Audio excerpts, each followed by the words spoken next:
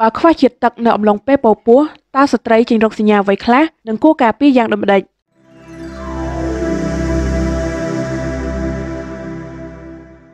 ធម្មតាបើខ្វះជាតិទឹកប៉ះពាល់សុខភាពយើងបើកើតមានអំឡុងពេលកំពុងពពោះទៀតក៏អាចប៉ះពាល់ទាំងម៉ាក់ម៉ាក់និងកក្នុងផ្ទៃដើម្បីអាចបង្ការខ្លួនកុំឲ្យខ្វះជាតិទឹកអំឡុងពេលពពោះអ្នកត្រូវដឹងរោគសញ្ញានិងវិធីការពារ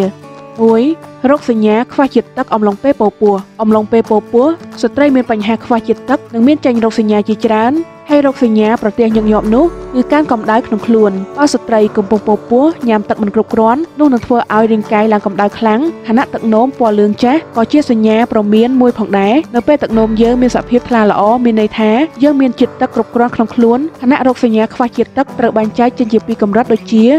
រោគសញ្ញាខ្វះជាតិទឹកកម្រិតស្រាលនិងមធ្យម ស្ងួតនិងស្អិតមាត់មានអារម្មណ៍ថាងងុយគេង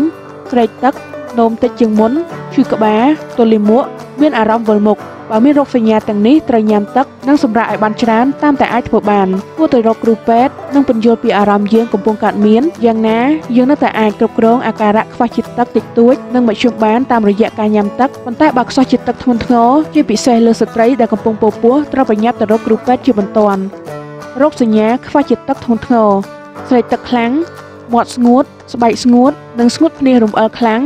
ឆាប់ខឹងនិងមានភាពភ័ន្តច្រឡំទឹកនោមតិចតួចឬគ្មានទឹកនោមទឹកនោមមានពណ៌លឿងខ្លាំងភ្នែករូងចូលក្នុងចង្វាក់បេះដូងនិងដង្ហើមលឿនមានសម្ពាធឈាមទាបត្រូវសង្កេតមើលស្បែករបស់យើងព្រោះពេលខ្សោះជាតិទឹកស្បែកនឹងស្ងួតហើយជ្រួញខ្វះភាពយឺតឬនៅពេលស្បែកមានស្នាមផ្នត់ហើយមិនអាចត្រឡប់មកសភាពដើមវិញហើយបើមានរោគសញ្ញាទាំងនេះប្រញាប់ទៅរកគ្រូពេទ្យជាបន្ទាន់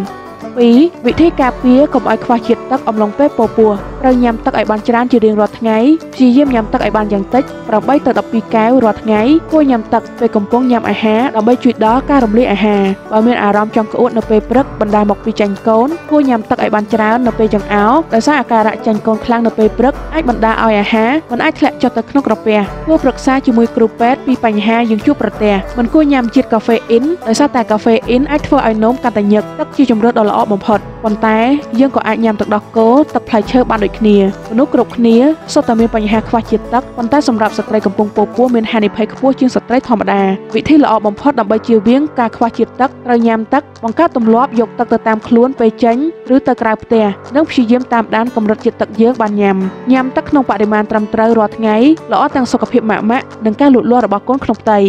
អត្ថបទខាងលើនេះគ្រាន់តែជាគន្លឹះសុខភាពដើម្បីចែករំលែកចំណេះដឹងប្រសិនបើអ្នកមានមន្ទិលសង្ស័យឬមានបញ្ហាទាក់ទងទៅនឹងសុខភាពលោកអ្នកគួរទៅជួបពិគ្រោះជាមួយនឹងគ្រូពេទ្យ